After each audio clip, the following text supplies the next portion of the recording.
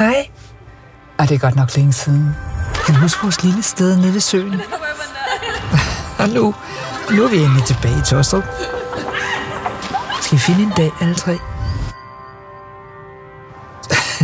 Jeg ved, hvor vi kan mødes.